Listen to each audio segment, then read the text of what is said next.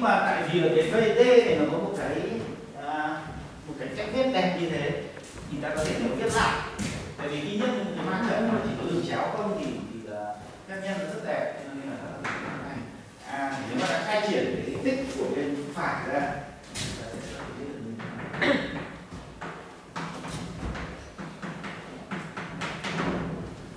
thì tích này là tích ờ, của hai vector tức là u y u là cái một cái ờ, cột của của ma trận u và v là một cái cột của ma trận v Và tức là đây nó sẽ là nhân cái hai vector này thành ra một cái ma trận một.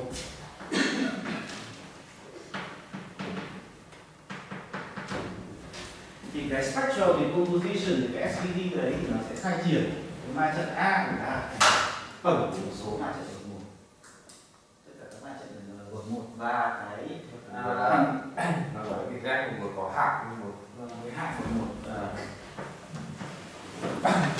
à, thì à, và các à, cơ số của nó sẽ là các giá trị riêng thì cái này bây giờ nó sẽ gần giống với cái tình huống mà ta có ở đây. À, khai sàn ta sẽ à, viết được ra là nó dưới dạng là có các à, à, cơ số C1, C2 và các hàm đơn giản.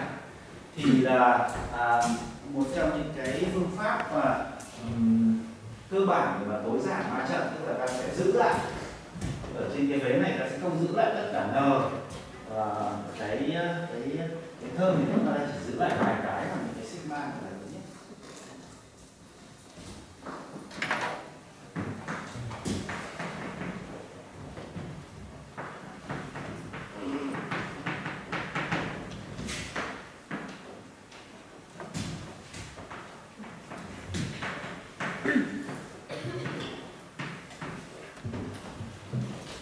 Tức là khi mà nếu mà ta chỉ giữ chẳng hạn 10 cái cái số ở bên phải thôi thì ta sẽ được tổng của 10 cái ma trận hơn tổng của n phải tức là cái vế bên phải sẽ thành một cái ma trận cái bậc của nó tối đa là 10 hơn cái tức cái này người ta gọi là low rank approximation à, tiệm cận thì đây là một cái ma trận là một cái, cái rank cái bậc à, là tương đối nhỏ.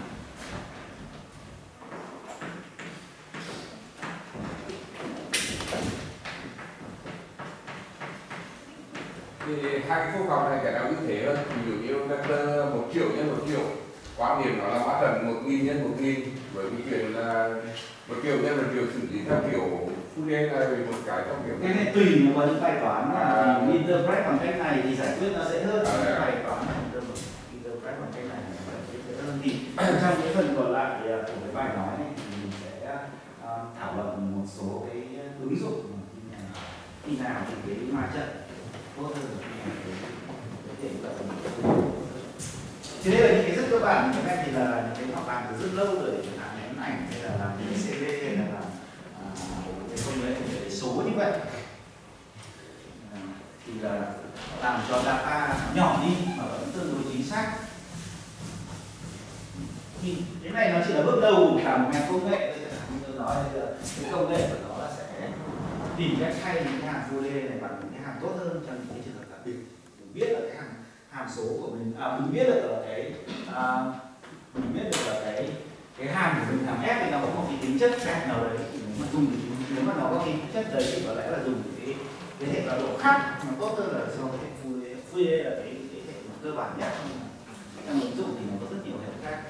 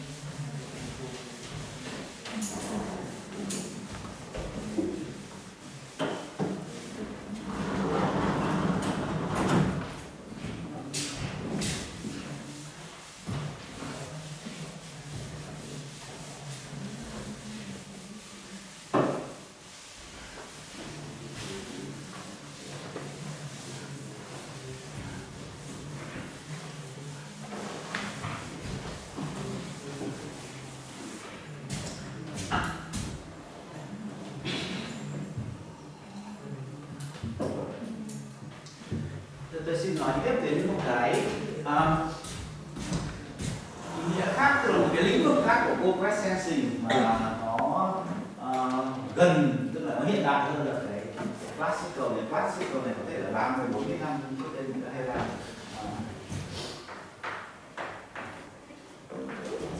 thì hiện giờ có những cái bài toán khác mà dẫn đến nó có những cái ứng dụng khác mà dẫn đến những cái bài toán khác như vậy toán này hoặc là dựa trên cái như vậy.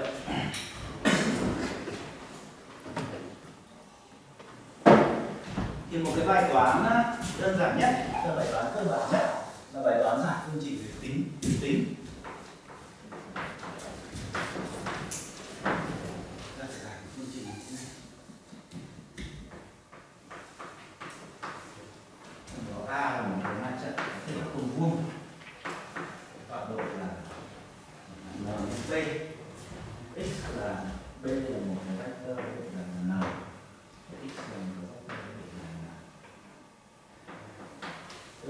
here.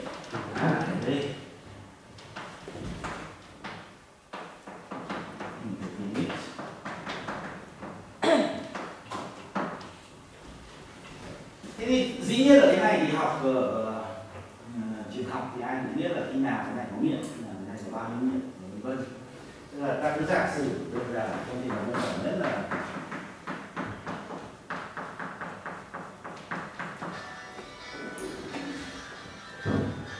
là a à, một cái ma trận của số lượng tối đa đi.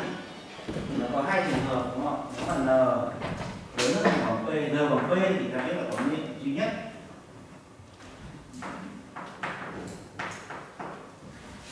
N lớn hơn p thì hoặc là có thể có nghiệm duy nhất hoặc là không có nghiệm nào.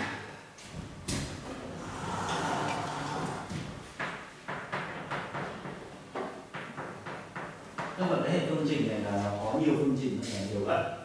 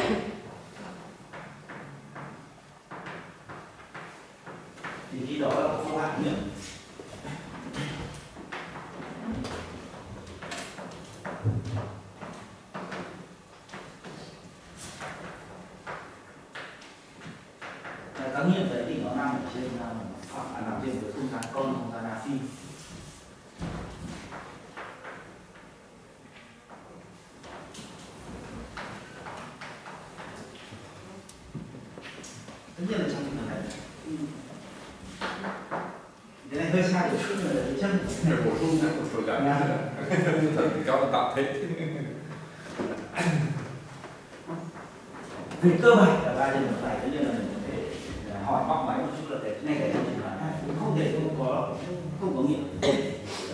Nhưng mà về cơ bản là cái cái picture, cái cái cái tranh lớn là như thế này. À đây là một cái ví dụ nhỏ như là x cộng y bằng ba thì là thế hệ này là n bằng hai và tôi bằng ba. Thì nếu mà ta giải cái này đơn giản là ta sẽ là d phải bằng một và x cộng y bằng hai. Tất cả những cái điểm x y và d, thỏa mãn cái tính chất này thì đều là nghiệm. Tức là trong không gian ba chiều, nó sẽ là một đường thẳng. Đường thẳng x cộng y bằng hai. Và sau đó mình sẽ ship lên trên thì nó sẽ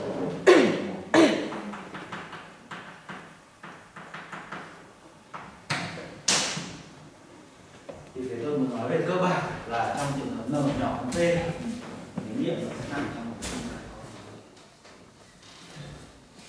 thì cái bài toán cơ bản đây là nếu mà ta có cái bài toán như thế n nhỏ như v và trong một cái không gian con thì ờ, khi nào có thể giải được bài toán những cái à, một cái tất nhiên là mình cần một cái ờ, giải quyết nào khác nữa.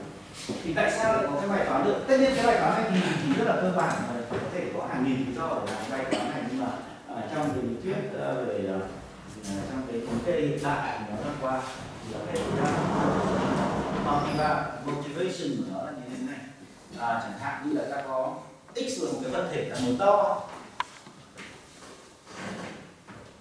Và ta biểu diễn nó dưới dạng vector nó là một bức ảnh và ta muốn xác định cái bức ảnh chiều hướng nào.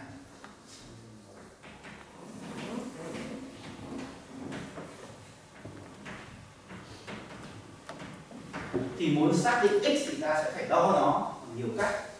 Chẳng hạn như chiếu x và những cái mặt phẳng khác nhau và xem cái cảnh các mặt phẳng như thế nào.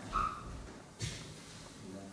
Giả sử cái ma trận a ở đây có n thì mỗi hàng của cái ma trận này là một phép đo cái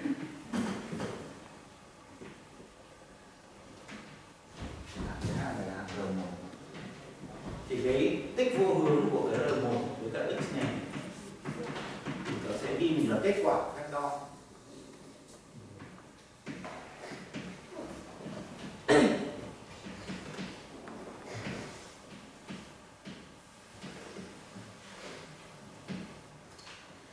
thì cái câu hỏi ở trong thực tế là ta cần bao nhiêu phép đo để mà tính được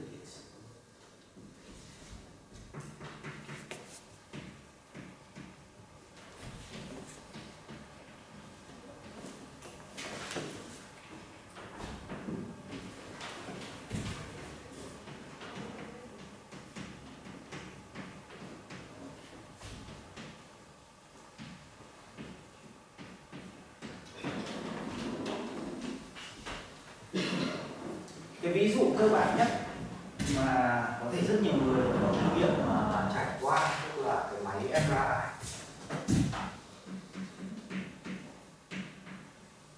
MRI chẳng hạn như là máy, cái máy tốt nhất để chụp chiếu bây giờ ngày xưa mình chiếu là vùng X quang, tức là đúng chiếu nó phát ra một cái ảnh. Thì cái ảnh đấy thì thường chiếu được xương, nhưng mà ít khi chiếu được thịt à, MRI là cái kỹ thuật là có thể chiếu được có thể cho mình xem được ờ, cái cấu trúc ờ, về gân cốt về à, bắp thịt ở bên trong rất tốt. Thì cái nguyên lý hoạt động của lại là thế nào tức là mình nằm trong tức là bạn không thể máy như này. Rất là ai? Cái làm nằm không có gì thú vị ở cái máy này là thành cái ha, thì sao ở đây có một cái băng chuyển mình thì nằm căng thẳng ở đây?